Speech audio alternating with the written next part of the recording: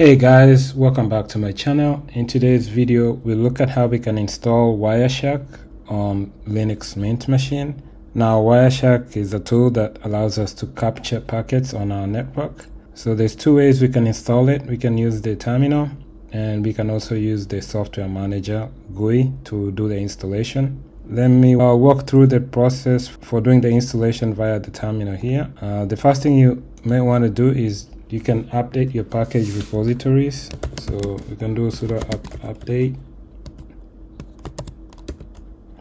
Put in your password. Okay once you're done with the update of your package repositories you can do the installation of wireshark using the command sudo apt install wireshark y for yes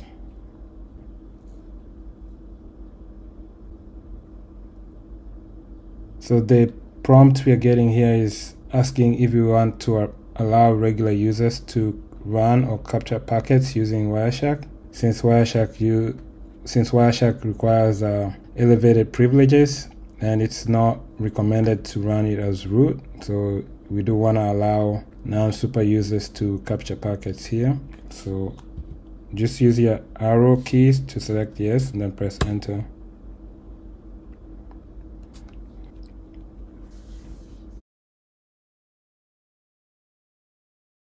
Now that we have Wireshark installed, we can check the version. We can say Wireshark version. And that should show you the version of Wireshark that you are running or installed. To start Wireshark, you can start it from the terminal or you can search it from your menu. Okay, now to open Wireshark, we can open Wireshark via the terminal or we can search it from the menu. Now, if you just do Wireshark, it opens Wireshark, but you'll notice that not all interfaces are going to be listed. So in order for you to see all the interfaces, you need to run sudo. So sudo Wireshark. And now you have the interfaces listed. I can go, I can select this interface here. And I'm able to capture the packets.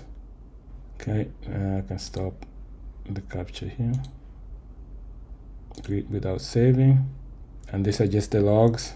Okay, let's look at the second method for installing Wireshark. Like I said, you can use the software manager. So you go to your menu and then search for software manager here. And you just search for Wireshark press enter click on Wireshark and since it's already installed I'm only getting the option to launch it if it wasn't installed you get the option to install and then you'll just have to follow the prompt to install it. Now if you no longer need Wireshark and you want to uninstall it what you can do you can open your terminal and just run the command sudo apt remove Wireshark. Put in your password. Y for yes and then do sudo apt auto remove. That should clean up the files. And now if I check the version if I do Wireshark there is no Wireshark. Uh, if I try to run it no Wireshark. But now if I go to software manager again I should have the option to install it from here